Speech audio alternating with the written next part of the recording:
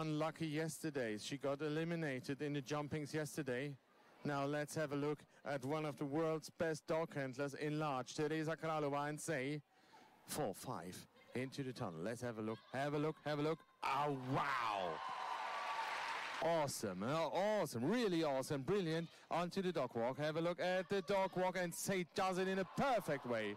11, 12, going outside for number 13. Come on, Tereza, that must be the clean one. The first clean run, please. That looks absolutely perfect. A gorgeous way of dog handling. She's going to finish.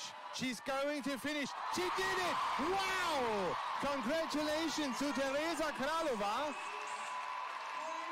And arena, they are flipping out. So superb. The Multiversum, standing ovations. Standing ovations for Tereza Králová. She's in the lead, 36.65. This is a truly world championship moment. She got standing ovations for this outstanding run. Really well deserved. Oh, there was goosebumps. There was a goosebump moment. Tereza Králová